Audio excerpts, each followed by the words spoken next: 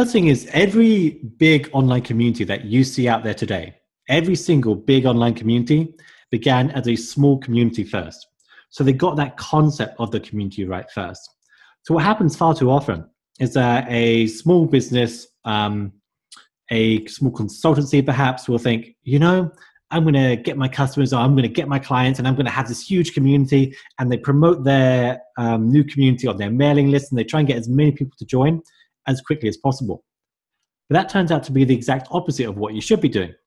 Because in the very first stages of a community, you just need a couple of people there willing to talk about the topic. And what we find is that most people don't want to talk about you. As interesting as your business is, as interesting as it as important it is to you, to your customers, it's just one part of their day. And it's one of many inputs that they see every day. If I look around here, I've got a phone, I've got a table, I've got a laptop, I've got a water bottle. These are different companies, and I don't have the time to participate in a community for every one of these companies just around here right now.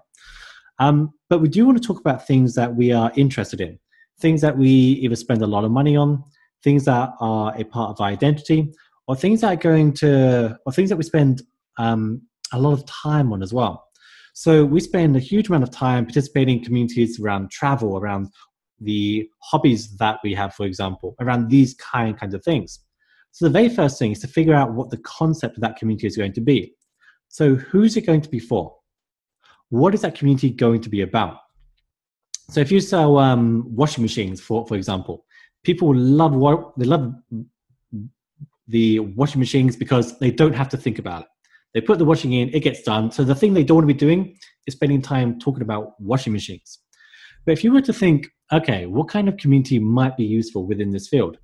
Maybe it's a community for people who want to spend as little time as possible doing their home their home washing chores or their home DIY chores. So now you have a, a concept for that community that's more likely to stick. That people are going to come. There's clear value from participating. There's clear knowledge that you're getting. So the very first thing is to figure out what the concept of that community is.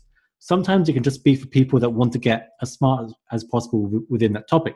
So we have a community for people that build online communities. And the goal of that community is really simple. We want you to become as smart as possible within that field.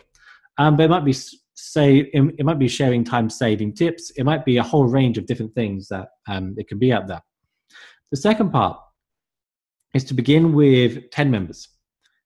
So you have to interview a lot, a lot of people to begin with, find out what their challenges are, find out what their problems are, and then make sure your first discussions are around those things and then you invite those people that you that you in, interviewed in the first place the people that told you these were the things that they were struggling with to participate in exactly these kinds of these kinds of discussions.